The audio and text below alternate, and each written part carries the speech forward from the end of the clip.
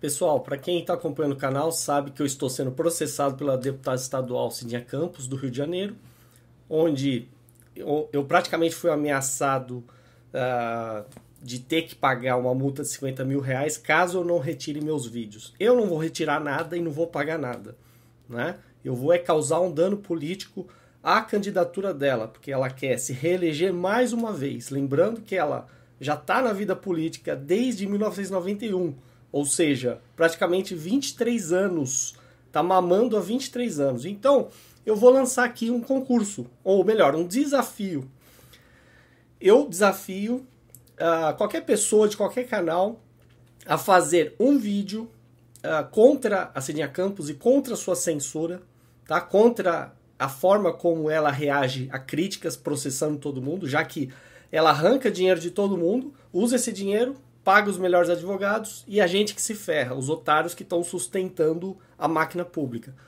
E eu vou colocar os vídeos que me forem enviados, eu vou colocar em uma playlist, uma lista de reprodução, tá? Vou ordenar por popularidade e o melhor vídeo, né, que, que o, o vídeo que for mais popular, uh, que chegar no dia 2 de outubro, eu vou pagar um Bitcoin pro criador do melhor vídeo. O vídeo que tiver mais visualizações, mais gostei, ou seja, vai ser o critério do YouTube. Eu vou ordenar por popularidade, o YouTube vai me mostrar qual é o melhor vídeo, o mais popular.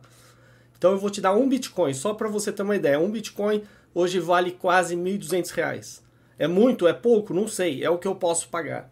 Então eu vou usar um, um incentivo financeiro, usando uma lógica de mercado para incentivar as pessoas a produzirem vídeos contra Cidinha Campos.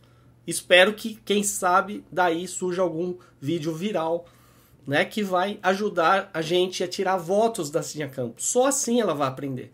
Não é pela via jurídica, não é por, é, enfim, por, pelo meio que ela espera que a gente reaja. É pela internet. Né? A coisa toda começou na internet e vai ter consequências na internet.